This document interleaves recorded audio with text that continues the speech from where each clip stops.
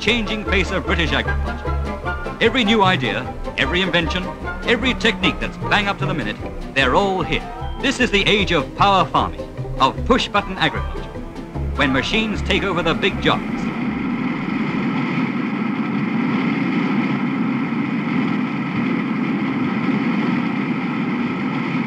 It may look like something from outer space, but dig that ditch. And there's plenty for the automatic reed cutter. Long-haired operators beware. And it's also advisable to keep your distance when the manure spreader's about.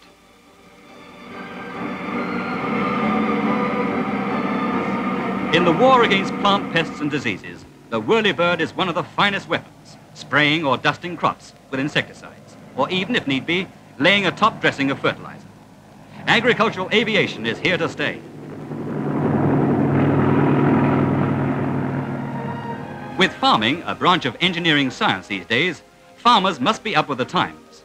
Bill Banks's farms near Spalding cover 2,000 acres of rich Lincolnshire land. To keep in touch, Bill has his own radio station linking the farm office with his own car and the farm foreman. Sometimes, Bill deals with farm problems when he's 20 miles away at the market. Holland here, Mr. Banks. Yes, Holland? Uh, we're a little concerned about the potato markets this morning. Uh, prices are not so good. Once they said that combines like these couldn't operate in Britain. The fields were too small, the land generally too hilly, the climate too wet. So said the pessimists. Today, 40,000 combines like these bring home the grain, and it's hard to remember what a team of Clydesdale horses really looks like.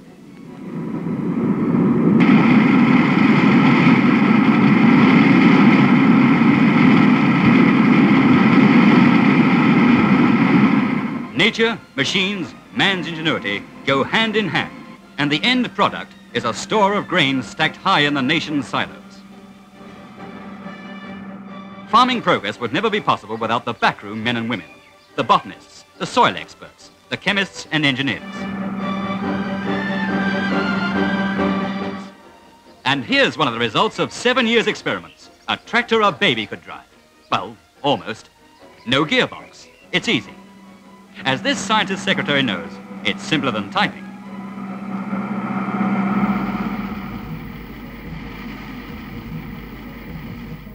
Here, the human aspect of machinery is important too. In this case, the comfort and health of the tractor driver. For a day's work on an average tractor seat can be like riding a switchback railway, or worse.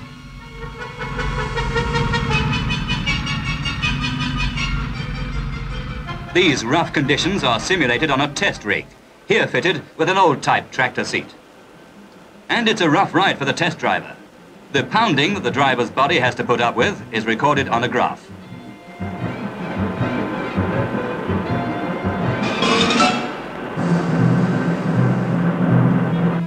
In the Institute's laboratory, the driver's rough ride can be transferred to a computer.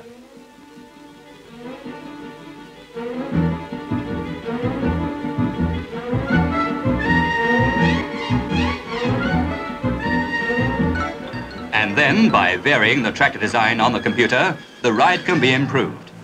These design suggestions are passed on to the tractor manufacturers. If you're wondering what they're harvesting, here's your answer.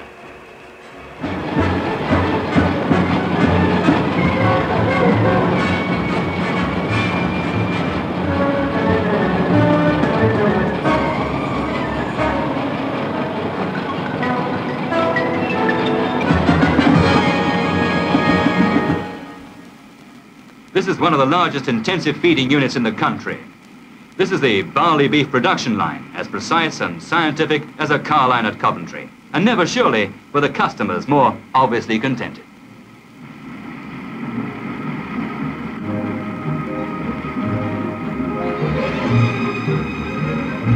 Already in Britain, about one in every 10 of our beef calves is reared on this intensive system. Keeping cattle indoors is commonplace in many parts of the world often in conditions nothing like as scientifically controlled or as good as they are in Britain. It's a way, and only a way, of putting up our beef production. For as standards of living go up all over the world, So more and more beef is being eaten, and there just isn't enough to go round. The housewife, too, is getting new ideas. Today, she likes lean beef and smaller joints. The choice is hers. So a new farming industry is growing up. Intensively reared barley beef designed to produce the finished job in the shortest possible time. Is just one of the many changes that are going on in the farming world.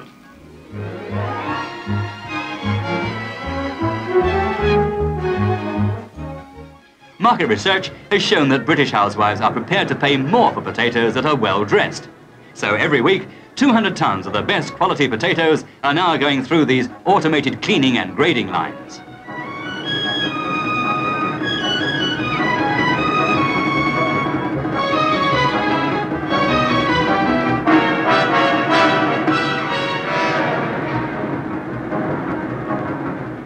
Hand-picked for size and shape, without blemishes or bruises, only the best go through for weighing and packing. These more expensive prime potatoes are proving popular. The greater the demand for them, the more we shall see in the shops.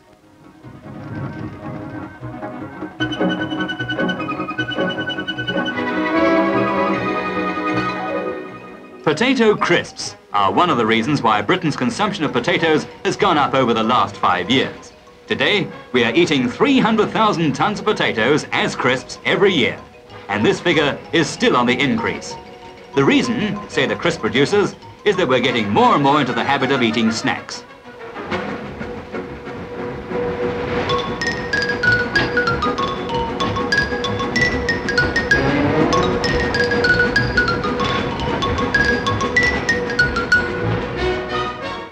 During the last war, people in Britain got used to what's now called instant potato, which is simply potatoes in powdered form. Water or milk is added to reconstitute them. Even today, one in a hundred people buys powdered potatoes.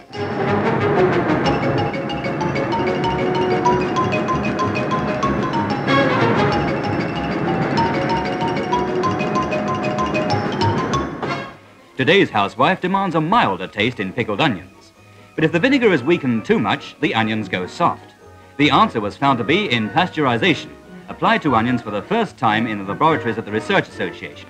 This is only one of hundreds of research problems tackled here every year.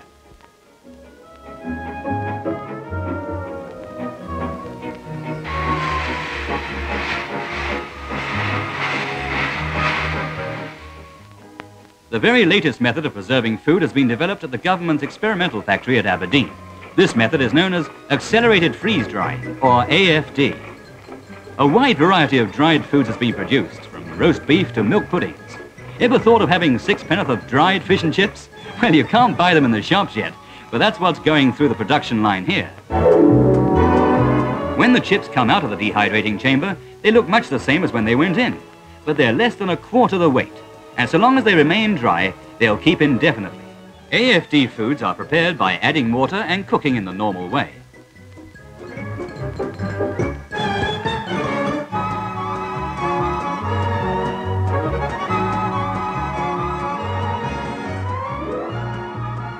Oh boy, food. You're right there. Everything's either been pre-cooked, dried, bottled, frozen, tinned, vitaminized, homogenized, preserved, colored, defatted, sterilized, concentrated, powdered, or starch reduced. Food really is becoming rather a bore.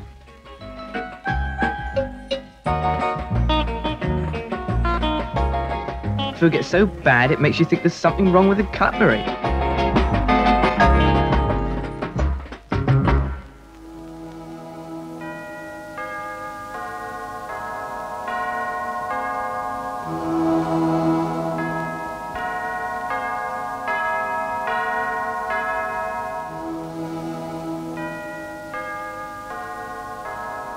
The village, like the city, takes Sunday quietly. The roundsmen, whose work goes on seven days a week, deliver the milk. The car park outside the village pub is deserted. Sunday still hasn't woken up.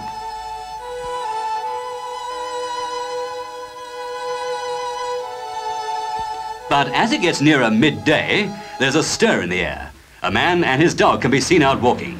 For noon is the time when the pubs open, when for masses of people, Sunday turns from rest to recreation, to getting out and about.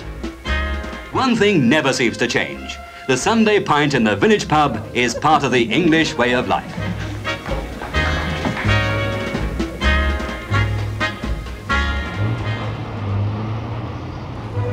Market Day, when the farmer and his wife come into town eager to enjoy their day out.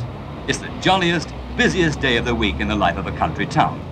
Some of them have grown old standing around the markets, and some of them, not so old, are learning fast.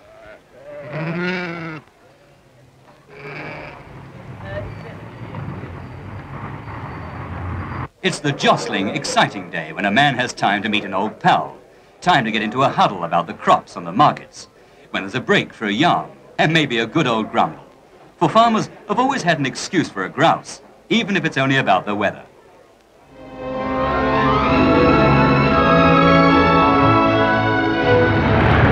It's a race against the clock and the weather in an unforeseen role for the RAF. Squadrons operate from dawn to dusk to save marooned cattle and sheep.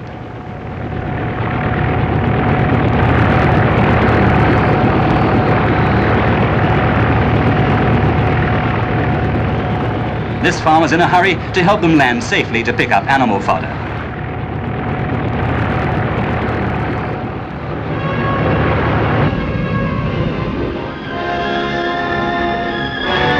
Now to find the animals. The deer down there will have to do as best they can this time. This mission's to save farm stock. And there they are, scared of the helicopter, but soon they'll come back to feed.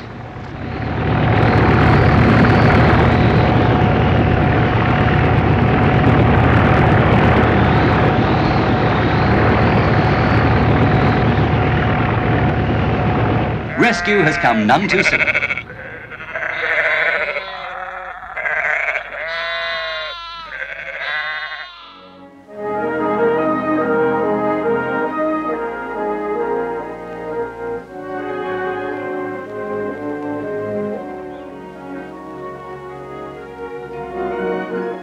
Some of Britain's new forests, like this one near Aberystwyth, are so large that they have their own self-contained forest villages. Foresters, foremen and forest workers are supplied with houses nearby the woods they look after.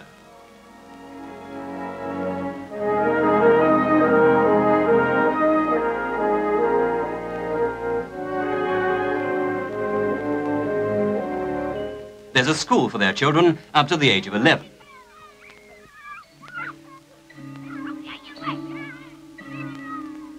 And the village shop is almost a club for their womenfolk.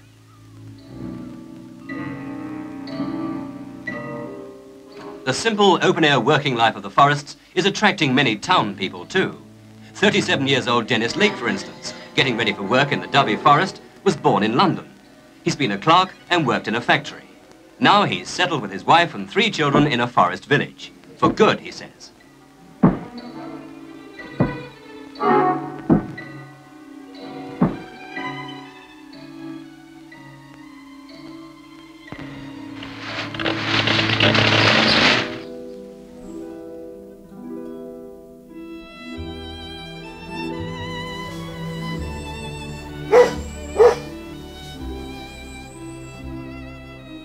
Could you break out into a life like this?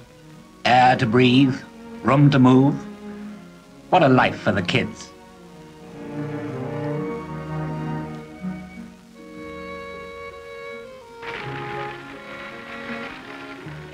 Ralph Heumann has done it, made the break, he and his wife. A tiny farm, six Hertfordshire acres, that's all. Impossibly uneconomic, you'd be told. Yet they're making it pay.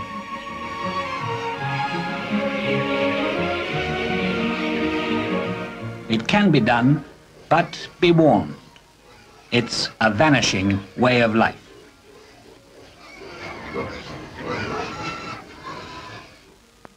This is the man of the future, who's here today and in increasing numbers, the new farm worker.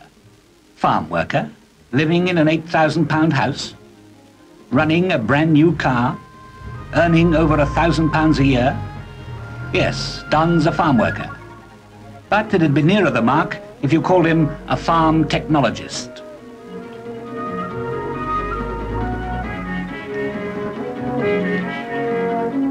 Arriving for the day's work, and he and his mates have no less than a thousand pigs to look after. Mates? What mates? There aren't any. Don's entirely on his own.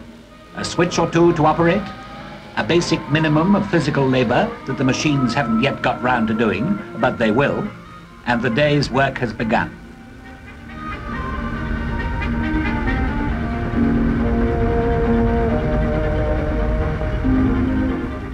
Waiting to be fed, greedy pigs. And breakfast is served. He'd like to be a pigman when he grows up, but by that time there'll probably be machines to press the buttons.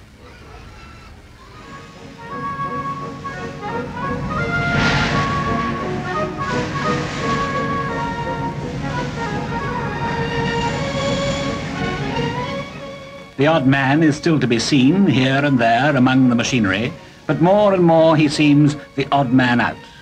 Already there is no technical reason why a farm should not be totally automated under electronic control. It can't happen in my lifetime. How often have we said that and been wrong?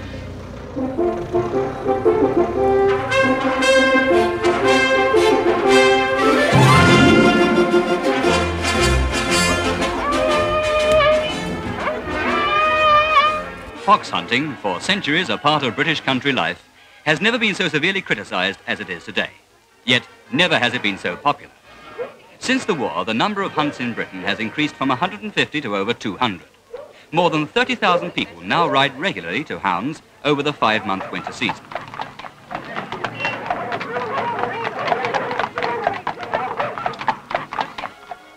Before the meet, so that foxes cannot quickly dive for cover, all foxholes in the locality are stopped, a practice some people object to.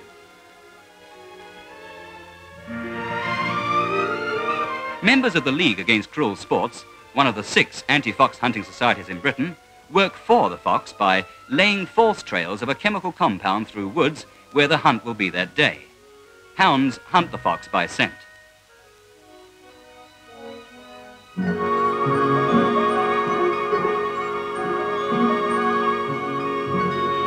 Despite all this, meets of foxhounds are getting bigger.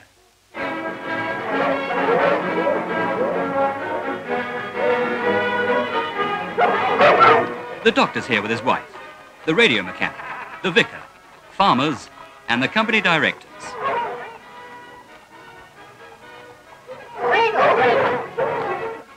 Hounds are getting impatient now, horses edging this way and that. It's 11 o'clock and the hunt moves off.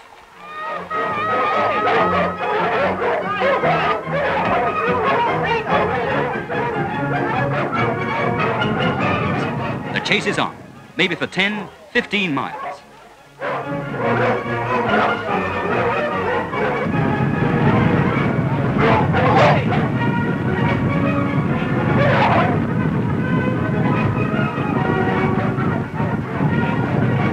It's a chase that tests horse and man alike. The fox may double back, run through sheep to lose his scent, often pause on rising ground to look back. Only one in every five chased by hounds is caught.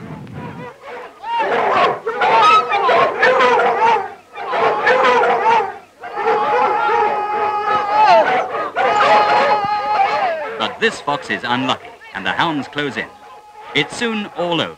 The fox is dead. But the question mark remains. Is this the best way of keeping down foxes?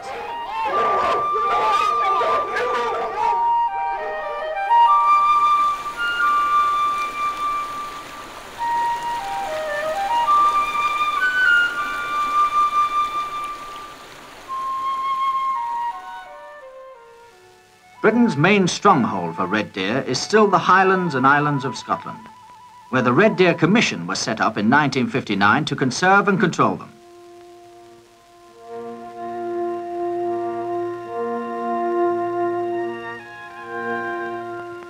If there are too many deer in a given area, natural food becomes scarce, and herds either raid the crops or die of starvation.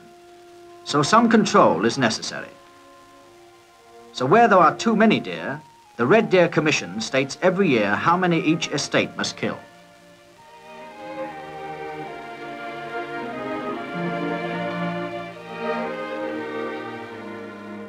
I first went stalking with my father at the age of eight, which was a terribly long time ago.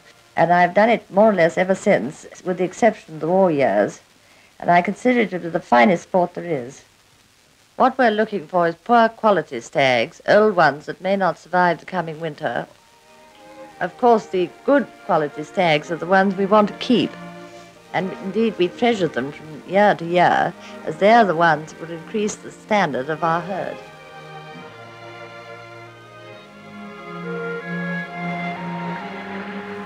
A day on the hill to me means getting away from it all, and it gives one a wonderful sense of freedom the higher one gets up the hill.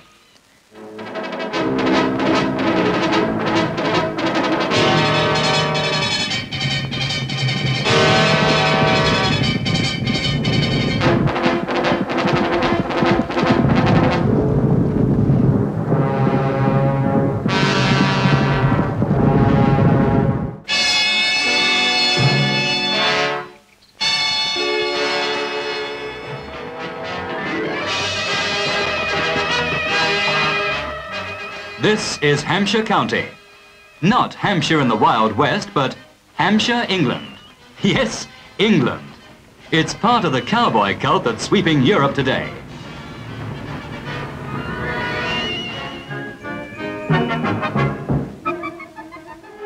At Britain's Flying G Ranch, they not only look like genuine cowboys, they're encouraged to talk and act like them.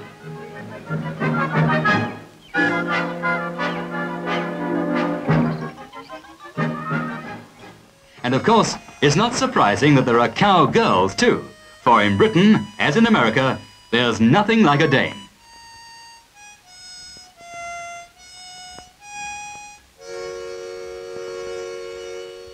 In the New Forest, the modern cowboys have 93,000 acres to roam. They seldom hit the same trail twice, and more and more are following the trend towards one horsepower Western style as an escape from the mechanized world.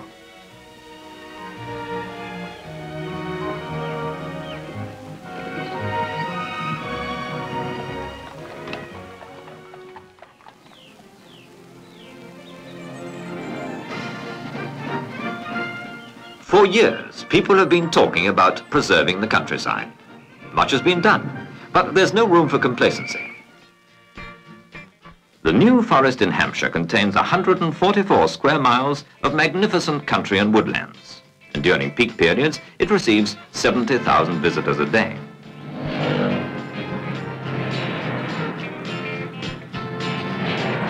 But those who do this sort of thing aren't welcome. The refuse collectors who travel 100 miles each day picked up last year 800 tons of soft litter left behind by people out for a day in the country, as well as 25,000 bottles of various sorts.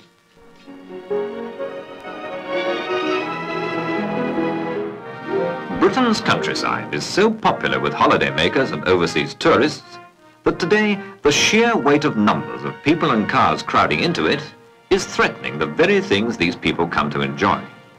The problem is, how can Britain have her cake and eat it?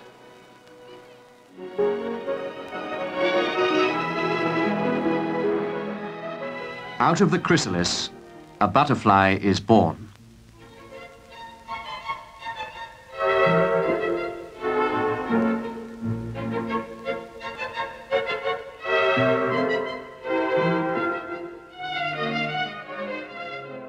Hard you look, butterflies seem to be much more elusive these days.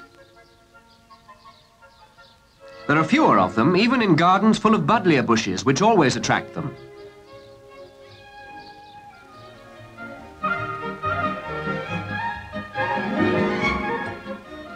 Why are there fewer butterflies in Britain today?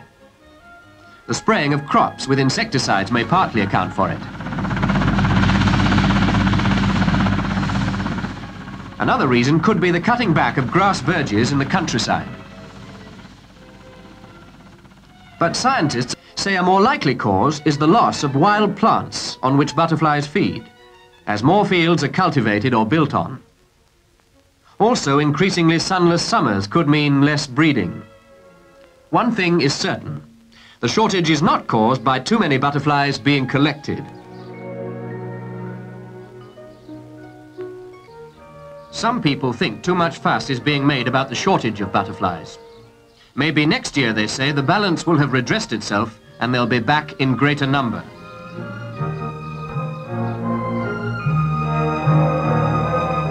Butterflies are one more example of the wildlife of the British countryside, which is being threatened by modern developments and public apathy.